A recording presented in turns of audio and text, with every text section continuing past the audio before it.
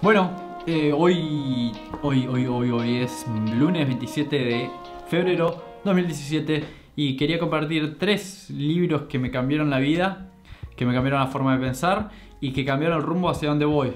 El primero es el libro de Arnaldo Jerez que se llama Curación por dieta mucosa. El libro ese lo leí en el 2009, a finales de 2009, antes de irnos a Argentina con Anika por primera vez, después de haber vivido en Nueva Zelanda por un año más o menos.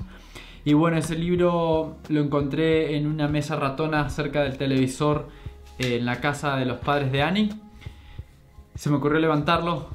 eh, no sé por qué lo leí, porque había un viejo en la, portada y el libro parecía que venía del año 1800, que justamente es un libro que se escribió eh, en, en, el 1800 y pico, creo 1840.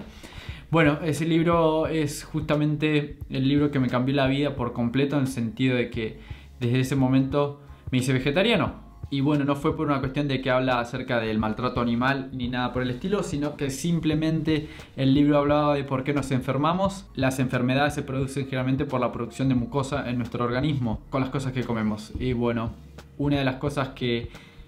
eh, hace hincapié es la carne, los productos animales y los almidones. Los almidones, ya sean que hay en las papas, en el arroz, en las pastas y demás, todo eso produce mucosa y lo que hace nuestro cuerpo es cuando consumimos mucosa y alimentos ácidos, produce más mucosa dentro de, nuestro organismo y es eh, la cama ideal para un bicho que entra, crecer ahí, reproducirse y obviamente darle la señal al cuerpo que, que hay algo que no está bien. Entonces el cuerpo que hace trata de limpiarlo, entonces por eso cuando nos enfermamos largamos mocos por todos lados, porque es el cuerpo tratando de eliminar ah, al, bicho que entró. Eh, yo hace 8 ya, a ver, 2009, estamos en 2017, sí, 8 años aproximadamente soy vegetariano y bueno, desde ese momento, en 2009, que dejé de tomar cualquier tipo de medicina tradicional, o sea que cuando me enfermo lo que hago es dejo de comer, tomo agua, le doy, el, eh, le doy el tiempo necesario al cuerpo para que se recupere y lo primero que hago es entender que, o, generalmente me doy cuenta cuando me voy a enfermar por el solo hecho de que empiezo a sentir eh, la acumulación de mucosa dentro de mi organismo y sé que está relacionado justamente con la dieta que tenga. En este caso, hoy estoy comiendo de vez en cuando como pan, eh, por ahí alguna pizza y todas esas cosas lamentablemente no están diseñadas para que nuestro organismo funcione al 100%. Entonces, eh, lo más importante es entender algo, hacer lo mejor posible para poder modificar nuestro estilo de vida, para poder obviamente estar al 100% la mayor cantidad del tiempo. Que en mi caso es muy difícil también y en el caso de ustedes también sé que a veces es muy difícil, pero bueno, al menos cuando uno intenta, cuando se educa y busca la, la forma de poder hacerlo, eh, a la larga siempre termina ganando porque uno va eliminando todos los días algo que no le hace bien y eh, ingresando algo que sí te hace bien. Así que bueno, ese libro es, está en la lista arriba, en la cima, justamente porque me cambió la vida por completo, eh, porque después de eso eh, me di cuenta de otro, otro montón de cosas que, que a veces antes es como que tenía unos anteojos que no veía eh, esa realidad. Entonces, bueno, ese es el libro que está en la posición número uno. El libro número dos, que me cambió radicalmente la forma de pensar, también, fue Padre Rico, Padre Pobre de Roberto Kiyosaki. En ese entonces leí ese libro en Australia, cuando nos vinimos a vivir con Anika Australia y lo encontré justamente en otra biblioteca que es la tía de Anika, pero no era el libro Padre Rico, Padre Pobre, sino que era otro libro que se llamaba Chico Listo, Chico Tonto, por decirlo así. Así que bueno, lo leí, eh, me encantó. Me encantó saber que, hay otra posibilidad más allá de trabajar para alguien siempre o eh, trabajar para subir la escalera laboral, ¿no? Así que desde ese momento decidí se me grabó en la mente que quería empezar en un momento mi propio negocio, eh, poder hacer las cosas por mi cuenta, poder buscar eh, distintas alternativas para generar dinero, para poder eh, hacer lo que quiero y por, obviamente justamente es para alinearme con quién soy. Eh, como digo, a veces todos estos libros por ahí tienen efectos en distintas personas. Hay gente que no le interesa tener o empezar un negocio o hacer algo distinto, sino que necesita un poco más de seguridad y demás. Y está bien, porque nos necesitamos todos, ¿no? Pero, eh, pero bueno, ese es uno de los libros que me cambió la forma de pensar y hoy por hoy me levanto a la mañana y me voy a dormir pensando en emprender, en poder crear cosas, en poder hacer eh, algo que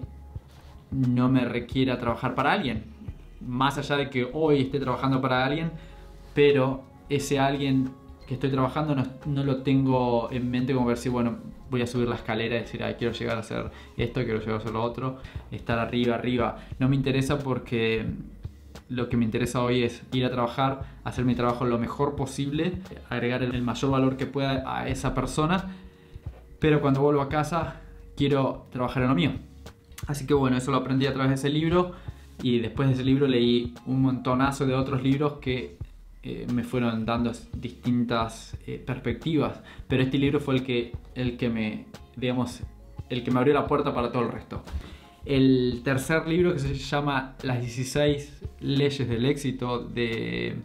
Napoleon Hill, lo escucho generalmente una vez al año o dos veces al año y me, me, cambia cada vez que lo escucho, me da ese coraje para seguir mejorándome a mí mismo todos los días para poder ser un mejor yo mañana, ¿no? Y bueno, este libro habla de las 16, 16 leyes del éxito que por ahí cuando uno lee la palabra o escucha la palabra éxito, tiene que pensar en plata, en, no sé, eh, la mayoría cree que es, es dinero el éxito y es solo solamente una parte, ¿no? Eh, hay cosas como, por ejemplo, eh, son leyes naturales que para poder lograr el éxito definitivo hay, hay, cosas que no podemos dejar de lado, como por ejemplo hacer más de lo que nos pagan para hacer y eso es una ley natural que la aprendí la aprendí y la puse en práctica desde que entendí que es súper importante hacer más de lo que te pagan por el hecho de que siempre hay alguien que te está mirando, siempre hay alguien que está prestando atención a lo que vos haces. Y aunque a veces pensemos que, ah, bueno, hago hasta acá porque esto es lo que me pagan para hacer, eh, generalmente no estamos, eh, no nos estamos beneficiando, sino que nos estamos, eh, nos estamos perjudicando en el sentido de que no estamos dando el 100% por algo o siempre esperamos más de lo que sembramos, ¿no? O lo que ponemos. Siempre que puedo y tengo, que lo veo acá, es más, lo tengo, lo vuelvo a reescuchar y vuelvo a tomar notas y vuelvo a pensar, ah, esto me, quedó pendiente. Por ejemplo, hay cosas como comunicación que me gustaría en algún momento poder estudiarlo, poder practicarlo, poder ver la forma de, cómo comunicar las cosas mejor. Esos tres libros, el de Arnold Heret, La dieta mucosa, el de Roberto Kiyosaki, padre, eh, chico, padre rico, padre pobre, será el más común, yo leí el otro pero el concepto es el mismo. Y eh, las 16 leyes del éxito de Napoleon Hill. Esos son los tres libros, digamos que me cambiaron la vida por completo y me la siguen cambiando porque cada vez que puedo voy y aplico las, eh, las reglas o las leyes que esos libros utilizan y, y, he notado resultados. Resultados en el sentido de que desde que he notado un cambio abismal desde el momento que decidí tomar responsabilidad de mi vida, ¿no? Responsabilidad en el sentido de que todo lo que me sucede a mí eh, no es externo, sino que es como me siento yo. Entonces, la única forma a veces de poder lograr lo que uno sueña, lo que uno desea, lo que uno quiere, es primero mirarse hacia adentro y decir, bueno, todo lo que hoy está alrededor mío lo creé yo es, creado por, por mí porque uno tomó la decisión en algún momento de, de hacer algo y ese algo trajo ciertos resultados y bueno, y así, eh, así creamos, digamos, nuestra vida, nuestro entorno. A veces creemos que no, pero hasta la familia uno la elige cuando tiene cierta edad. A veces, lamentablemente, uno tiene que pasar por momentos difíciles y, y bueno, esos momentos difíciles a veces uno cree que no tienen solución, pero si estás escuchando esto, si estás viendo este mensaje, quiero que sepas que siempre hay una alternativa para tu situación. Lo único que tenés que hacer es sentarte eh, y pensar estratégicamente qué puedes hacer.